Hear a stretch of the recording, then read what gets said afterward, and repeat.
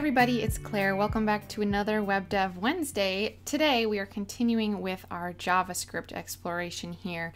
And in last week's video, we built this simple little toggle button here that changes the color of this box. We are going to revisit this and make it a little bit more complicated, give us a few more options, and then demonstrate a way besides if like endless if else statements to evaluate what's going on and change it accordingly. So to start with, we're just going to adjust our if else here to add more color changes basically. So in our index, um, we have the style now up here in the head just because we didn't have very many. And then the page is just a button that when you click it, it runs the change color function and a div um, with the ID of change me that starts out as red. In our JavaScript, we evaluate if the background's red, change it to blue, or else change it to red we're going to add a second if statement down here. So you can do if else, but you can do a bunch of else ifs in a row. So if it's red, change it to blue. Let's do if box style background equals blue. Let's change it to green. Else if our box style background equals green, let's change it to black.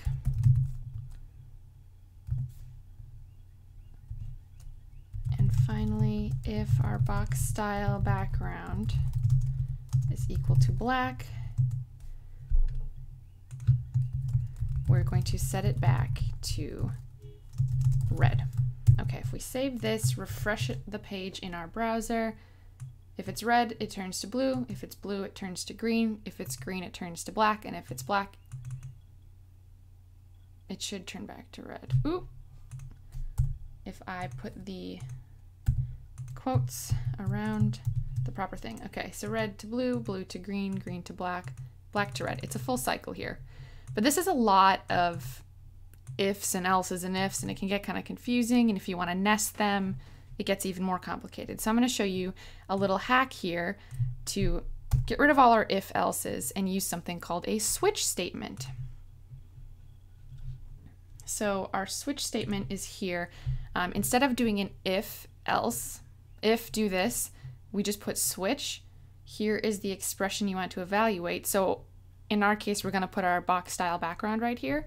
And then within our curly brackets, we have a list of cases and the code to execute if this expression evaluates to this case. So I only have one case here, but in a switch statement, you'd have as many as you needed. And it's just a way to sort of streamline your code. And I think it's a lot more intuitive. It makes more sense. So um, this would be our if this equals whatever our case is, colon, do this, what we would normally put in our curly brackets. Then we break. So if this is true, it'll end the code, but if not, it keeps going and we can have another case and another thing to execute and so on. So let's get into our code here and let's make a switch statement to do what we just did with a bunch of annoying if, else, if, else, ifs. So we start with switch and our curly braces. So what we are testing is our box variable, which remember we set to that div style background. So we're text testing the background style of our box. And here we have a bunch of cases. So if it's the red case, then we change the box style background to blue. And then we have to break it because otherwise it'll keep evaluating and it'll, we don't want that. So between each case, just make sure you break the code so it knows if this is true, stop. Now let's do case blue.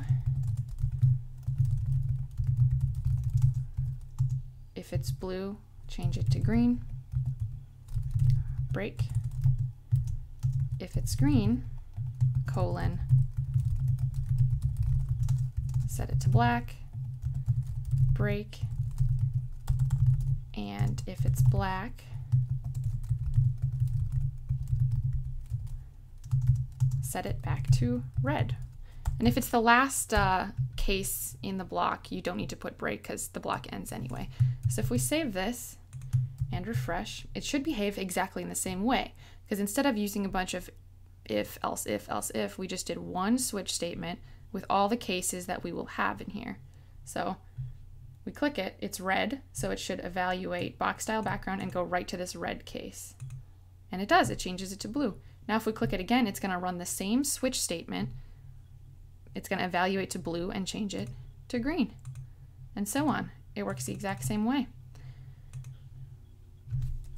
There's another part of um, switch statements that you can do um, called default. So we will need to break this if we're putting a default in because it's not the last um, the last case in our switch statement. So the default um, is what runs if none of the cases that you have specified are true.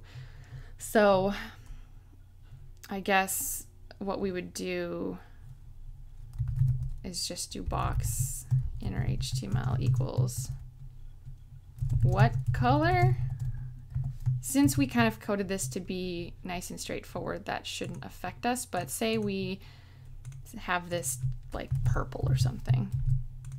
So it's purple, but if we click the button, it gives us the what color because in our switch statement, we don't have a case for what to do if it evaluates to purple. All right, guys, that's a real quick overview of the switch statement when you are um, using JavaScript functions. So I hope you found this helpful. This is intended just to familiarize with the syntax of the switch statement and sort of a demonstration of how simple it can make our code and prevent a bunch of nested else ifs that are not that human friendly when you are reading the code. Anyway, thanks again for watching, you guys. Remember, I post new videos every Wednesday, so I will see you next week. Bye, you guys.